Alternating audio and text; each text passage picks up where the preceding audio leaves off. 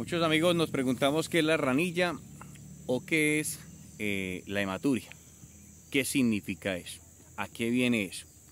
¿Por qué se puede dar la ranilla o por qué se puede dar la hematuria en nuestros ejemplares bovinos? Hoy quiero explicarles paso a paso a identificarla y más de eso a evitar riesgos altos de algunos pastos que no generan cosas buenas en nuestros ejemplares, en la ingesta. Y quiero mostrarles un ejemplo claro de lo que me pasó a mí. Y creo que una o dos veces me ha pasado durante estos años de trabajo comercializando ejemplares. Quiero enseñarle mis amigos atentos a este programa que es de sumo interés y préstenle bastante atención para que no caiga en manos de tramposos y personas que meten ejemplares malos que van ya están listos para gancho los, lo hacen ver como buenos y realmente lo que son animales enfermos que ya no tienen ni un solo arreglo. Pilas. Una de las enfermedades más comunes en los bovinos, en nuestras vacas, en nuestras terneras, en nuestros terneros, se debe a la ranilla o hematuria, como realmente se conoce. ¿Qué es esta enfermedad? Es una enfermedad que se produce por causa de la ingesta de lechos eh, en varias oportunidades y en varias ocasiones. O sea, si usted tiene el lecho dentro de su finca, antes de llevar el ganado, primero empiece a acabarlo. Es un poco complejo acabar el helecho. Hay diferentes clases de lechos, pero hay uno de lechos que con lo que quemaban los marranos para poder eh, quemarles el pelo. Ese lecho es el más dañino, pero el más dañino es el que viene chiquitico. ¿sí? Cuando el animal se lo consume o lo ingesta, ocurre que destruye la vejiga del ejemplar y causa problemas digestivos. Al principio no lo vemos porque no se ve realmente la enfermedad. ¿Qué empieza a pasar?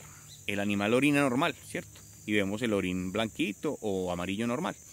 Pero entre ese orín empezamos a ver cuando hay alta ingesta de esta infección, de este lecho, perdón, pues causamos una infección intestinal en nuestros ejemplares y empezamos a observar de que empiezan a orinar ya no amarillo ni blanquito, sino con una pinta de sangre. empieza a salir sangre. Esta enfermedad a corto plazo o rápidamente puede ser tratable, pero casi la mayoría de ganaderos conocemos que es difícil de tratarla cuando ya se tiene alto consumo o ingesta de nuestros ejemplares de este lecho. Entonces lo mejor que hay que hacer es primero, antes de llevar nuestros ejemplares, acabar con este lecho para que no ocasione nuestro ganado de leche eh, hematuria o eh, la enfermedad que es miar sangre y obviamente morirse nuestro ejemplar y perderlo del todo. Entonces vamos a analizar paso por paso. Primero entonces si vamos a ver la orina amarilla, normal, pero si la empezamos a ver con manchas de sangre o más rojiza, tenemos que abrir mucho la atención y empezar a evaluar rápidamente con un buen veterinario que sepa, que conozca sobre ese tema y le corra a nuestros ejemplares antes de que sea tarde. Muchos en el afán de tener ejemplares lo que hacen es meterlo en cualquier, en cualquier calidad de pasto a nuestros ejemplares. Lo que pasa es que el helecho pues es muy común en tierra caliente y también en tierra fría, pero hay helechos de helechos. Hay uno que es muy peligroso, que es el que se quema el, marrano en diciembre o la marranada, o no sé en su país cómo será, pero normalmente en Colombia se quemaba con este lecho, o se quema todavía en algunas partes tradicionalmente, para mm, que el marrano eh, pues simplemente eh, se queme el pelito que le queda y que coge supuestamente mejor sabor, dicen pues los viejos, ¿cierto? ¿Qué pasa? Que cuando nuestros ejemplares empiezan a ingestar o alimentarse de este lecho, va a causar esa eh, infección renal y va a ocasionar problemas en la vejiga del ejemplar. Y vamos a tener un ejemplar que empieza a sangrar, a orinar, pero sangre, despacio, muy despacio, y cuando va avanzando la enfermedad sin tratarla, ocurre que se nos va a vaciar totalmente en sangre. Voy a mostrarles algunas imágenes de un caso que me pasó para que ustedes tengan muy presente y tener muy presente que la ranilla o la hematuria tiene un mes de garantía por parte de cualquier comercializador. La persona que venda un animal ya preparado porque le aplicaron medicamentos y ya no esté sangrando, pues simplemente y sabiendo que está enfermo, pues simplemente es un timador, tumbador que está haciendo el proceso mal y que está metiendo la opción ejemplar que usted ni siquiera descubrió por qué se mío en sangre y por qué se vació lo último en sangre y resulta pasa que la estaba tratando antes del dueño al anterior dueño para poderla vender y no perder. Lastimosamente hay gente también tramposa en el mercado. Podemos observar entonces que ella empieza a pintar su orina de sangre. Empezamos a verla con más sangre, más sangre, más sangre. Cuando la trata la persona, pues uno como ganadero la trata para no perderla rápido, pero igual es difícil de controlar y es difícil de recuperar cuando ya está muy avanzada. Lo último es que cuando está muy avanzada, pues normalmente con los medicamentos ella retiene esa sangre y ya no sangra tanto, ya el orina es mucho más clarito. Pero resulta que pasa que como la están tratando, así la venden rápido, por ejemplo los que son timadores, tumbadores, eh, estafadores, serían más o menos por ese lado. Última que esa persona está tratando el ejemplar, pero para no perderlo y lo a vender a una feria, a una subasta eh, o comercializarla. Llega y la vende, y cuando la vende el ejemplar, entonces la otra persona se lleva el ejemplar muy contento y todo. Resulta y pasa que llega la hora de que el medicamento ya no hace el mismo efecto y pues como usted no la siguió tratando, simplemente ella se vacía en sangre, como la mostrar en el video que les voy a mostrar ahorita, chorreando totalmente sangre. Entonces es ahí donde se define que es hematuria. Hay diferentes formas de diagnosticar la hematuria o la ranilla y es observando la orinal y la segunda es un examen de sangre que normalmente le hace. Me pasó un cacharro con una subasta, voy a contarle más o menos, no le voy a decir qué subasta fue, pero para que lo tengamos muy presente y las subastas y las ferias o las personas que comercializan en ferias tienen que ser responsables. Eh, no la feria, pero sí la persona que comercialice o la subasta, quien comercializa estos ejemplares como sanos garantizados o la persona que comercializa el ejemplar como sano garantizado tiene que responderle durante un mes. Si pasado el mes el ejemplar no presentó ningún, ninguna sintomatología, no hay ningún problema ya si le murió en la finca a usted, ya ahí bailas. Pero normalmente las personas tratan estos ejemplares para no perderlos y poder beneficiarse y lucrarse y no perder el ejemplar como un ejemplar que tiene que ir al gancho, que tiene que irse a matar en un sacrificio para, para la carne sea consumo humano, que es normal. O sea, eso no tiene infección para las personas. Pero eh, obviamente es una trampa que hacen algunos ganaderos y algunos comercializadores de ganado, no la subasta, pero de pronto sí la persona que lleva el ejemplar a la subasta. Le voy a contar la historia cortica y al último les voy a dar los videos de la novilla que me pasó el cacharro les voy a contar una historia hace muchos años que comercialicé unas novillas hacia Santo Domingo y la forma de responder. Ahí podemos observar esa novilla, está totalmente vaciada en sangre, es una novilla que lastimosamente ya está lista para el gancho, hay que mandar al matadero. Y eso fue lo que vendieron, bueno, eh, malo por bueno. Entonces hay que poner mucho cuidado con esto, con esa clase de timadores, tumbadores que los pueden llevar a subasta, los pueden llevar a otros lados y hacerse después los pendejos para responder. Listo, tengan mucho cuidado con este tema. Eh, ahí les dejo ya totalmente vacía en sangre. Y ese es el color. Cuando ya está demasiado vaciado, es que está así. ¿sí? Entonces, para que tengan en cuenta, mis amigos, no se deben tumbar, no se deben timar de gente totalmente descarada. Eso no tiene otro nombre. Gente descarada, conchuda. Mejor dicho, reclame lo bueno. No más. Resulta y pasa que logramos identificar que esta novilla está enferma antes del mes, ¿cierto? ¿Qué pasa? Yo la compré en una subasta hace unos días, compré en una subasta y esta traía, estaba normal, muy bonita, ¿para qué? Y de un momento a otro empezó a orinar y a orinar sangre vaciada, o sea, no, no a pintar la orina, sino totalmente vaciada.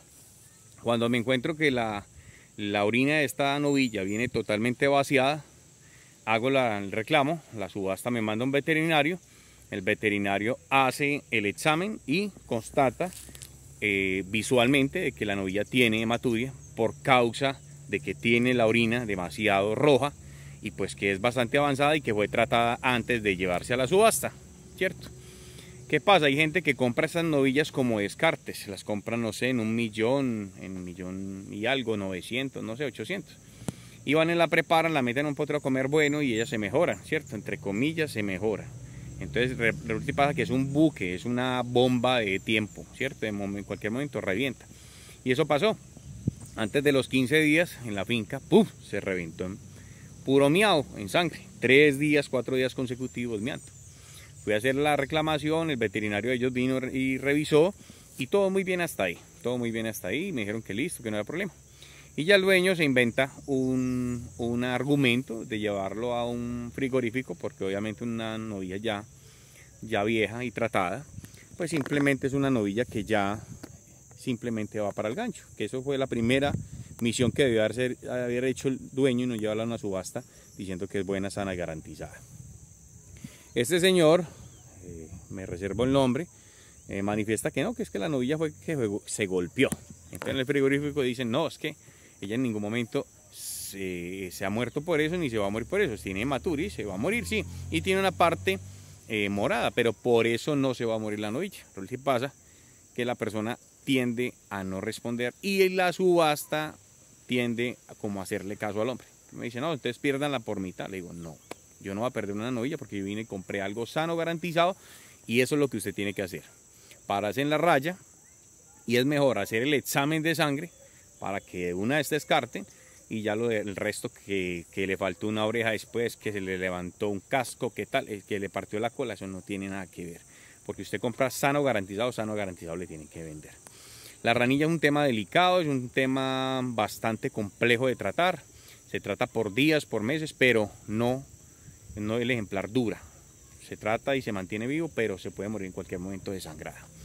Y llega que ya llegan otras, otras sintomatologías, obviamente anemia, pues obviamente va a tener anemia porque sangrando pues y se desangra el ejemplar. Entonces, a lo último logré cuadrar, me cuadraron, pero me, me descontaron una plata supuestamente, pues yo accedí a eso al ver que con la persona no, no era, mm, para mí no fue seria, para mí no fue honesta y simplemente quiso pegarse otro pedazo de carne ya después de estar en el ejemplar muerto, de que estaba morada la carne. Eso no son argumentos.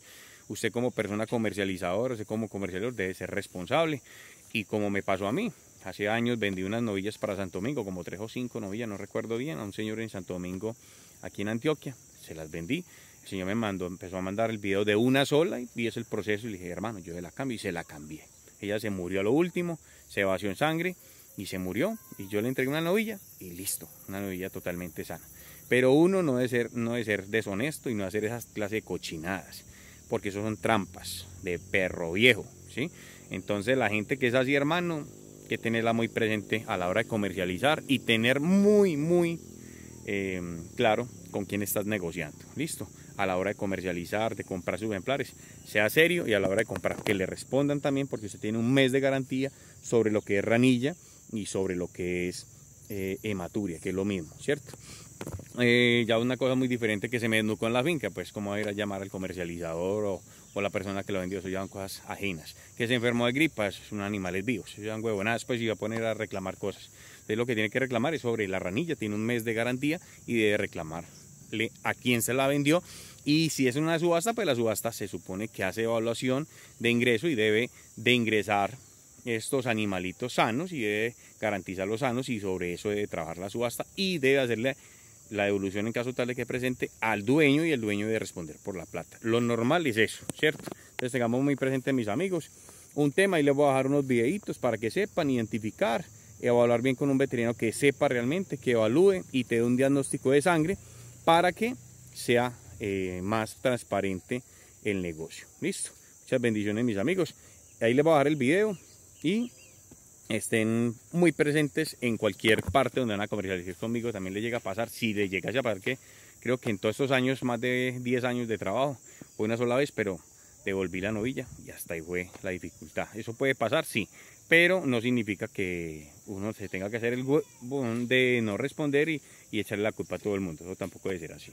Ya otras cosas son situaciones diferentes, un rayo, una desnucada, que eso sí ya no da garantía, pues obviamente no. Bueno mis amigos, espero hayan aprendido con este tipcito, es importante, es bueno tener presente esta enfermedad en los bovinos, si quiere busque en internet, si quiere consulte en internet, si quiere profundizar, aunque aquí estoy dando eh, con el video que, anterior que les mostré, pues un video claramente donde hay ranilla y una ranilla ya tratada y una ranilla que lo que hizo fue la persona tratar de tumbar y ser más avispado que el otro. Esas no son formas de comercializar el ganado, primero la honestidad, la transparencia, eh, ya que haya dificultades por otras cosas diferentes, pero no hacer esta clase de trampas para vender o comercializar ejemplares. Y usted como comprador también reclame, exija, si es antes del mes, hágalo. ¿sí? Muchas bendiciones mis amigos, ahí lo dejo y recuerde darle el super like, compartir con amigos y conocidos y seguirme en todas las redes sociales, en Instagram, Facebook, TikTok, YouTube, ahí estamos. Bendiciones.